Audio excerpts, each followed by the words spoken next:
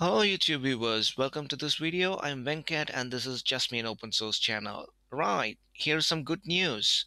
So I'm starting a new series on AWS, um, Amazon Web Services. Um, I'm doing a couple of series in parallel, which is uh, Kubernetes that's ongoing. I started that series six months ago and uh, I've uploaded about 50 videos so far and it will continue to go. Uh, I've got lots and lots of videos to cover, concepts to cover in Kubernetes.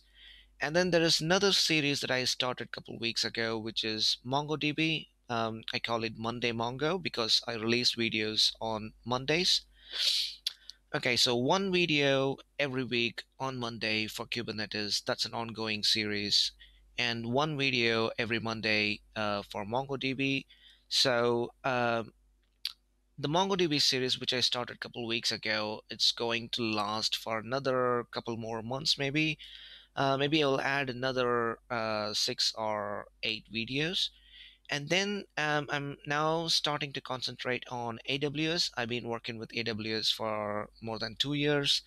Um, I won't say I know all the concepts, all the services in AWS, but uh, majority of the services, uh, the essential ones like EC2, storage, database, um, uh, VPCs, and so on. So I've got some knowledge on that. The main idea for me, the main idea behind starting this series is to um, give absolute beginners an idea of how to get started with AWS. So this is also going to help me uh, in learning more and more concepts. For example, uh, in the Kubernetes series, um, I really like the way you're interacting with me.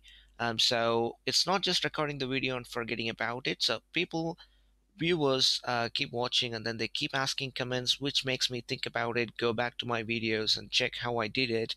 Uh, so every time they ask uh, about the videos, it will be in my memory. So that's helping me as well, uh, like how it helps you. So that's the idea. I'm going to share my knowledge with the community uh, for AWS, and I'm going to get back something from the community as well. Um, so whatever I have in my mind, I'm going to produce that as videos. And if you've got anything in your mind, or if if you notice that I'm doing something wrong, so that's the opportunity for me to learn from you guys, right?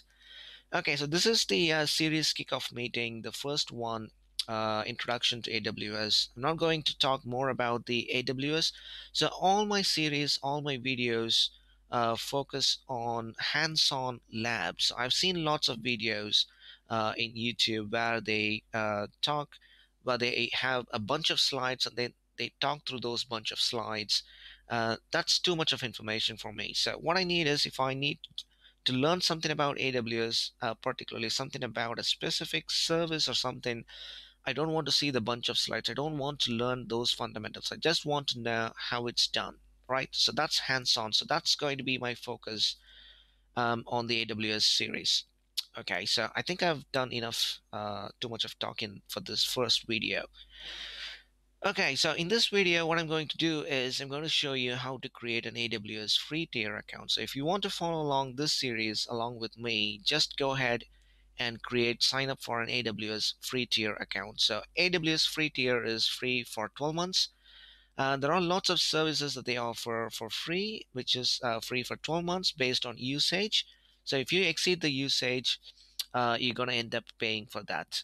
And if you go past the 12 months, if you expire the 12 months uh, period, then again, you're going to uh, pay for that. So I've registered a couple of AWS accounts in the past two years just to make use of that 12 month free tier. There are also always free services that you can use free um, throughout your throughout the life cycle.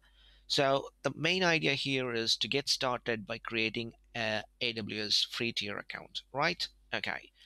So I've already got one. Uh, I'll just show you where to go and where to get an AWS free tier account. So search for AWS free tier sign up or just AWS free tier. Probably it will be the first link, AWS free tier. So as I told, there are a few different options. So there are services that are always free and there are services that are free for 12 months, which is which comes under free tier. And there are some trials uh, that you get from different software solutions, which I don't know, which I haven't actually used. Okay, down here you get uh, the list of uh, free services, free tier enabled uh, services. So on the left here, if you select 12 month free, so this is what you get. So there are lots and lots of services that you can use. Amazon EC2, that's your uh, the virtual server that you can use. So 750 hours of uh, usage per month. So that roughly calculates to 24 hours a day. So you can't just spin up one T2 micro, not a bigger machine, a T2 micro machine. So whenever you go to any specific AWS resources, it's going to tell you whether it's free tier eligible. So the when you consider EC2 and if you go for T2 micro and you can just uh, once you sign up you can just start it and you can run without switching it off throughout the year so that's going to uh, get counted under 750 hours per month for 12 months. So you can run continuously without turning it off. Obviously that's just for the ec2 but uh, the uh, ebs volumes that you attach uh, the network bandwidth that you are using all that's going to get counted. You've got amazon s3 rds relational database service uh, api gateway uh, cloudfront uh, efs it's like nfs elastic file store. There are so many of them. Elastic block storage that's ebs ecs uh, elastic container service elastic container registry elastic cache service. Um, there are so many which you can uh, go through on this page. Okay what is always free? Just remove that and go to always free. So this one amazon dynamodb is always free given uh, you can't exceed more than 25 gig up to 25 gig and you can go here and look at the individual uh, restrictions. So that's uh, there. Aws lambda function that's serverless just you create a function deploy that all the underlying resources infrastructures are taken care by uh, aws so aws lambda 1 million requests per month simple notification service CloudWatch, 10 custom metrics and 10 alarms, um, Amazon Glacier, 10 GB of storage retrievals, and all those things. So, this is basically what you get when you sign up for your AWS account. Okay, so create a free account, and then you're going to enter your email address, password, basically your personal information. And when you click continue, it's going to ask you whether you want to go with a business account or a personal account. Uh, go for a personal account and then uh, it's going to ask you for your payment details. Um, payment details is mandatory, so either you can use your credit card or debit card. And then I think they usually um, authorize some transaction about uh, one dollar, one cent, or one dollar. I'm not sure, just to make sure that your um, card details are valid. Uh, they don't actually take one dollar or one cent or whatever it is, uh, but that's just a virtual kind of transaction. Um, but I'm not entirely sure about that. But just to verify that your payment card is valid. So usually your account takes up to 24 hours to get provisioned. The one that I created just before recording this video, um, I was able to sign up and the next couple of minutes I was able to log in, launch EC2 instances and do everything. Maybe because they know about my uh, debit card or credit card, which I've used for my uh, previous accounts. So they already verified my account, I think. Uh, so in the final page, you will get, after going through the payment details page, you will get a final page where you can select the subscription uh, status. Uh, you can go for a basic subscription, uh, which is free, or a business subscription, or there is one other subscription which I can't remember. So once you've done all those things, you will have your AWS uh, console ready. So you can log into your AWS console. You can view your resources. Okay, let me quickly show you what my AWS console looks like.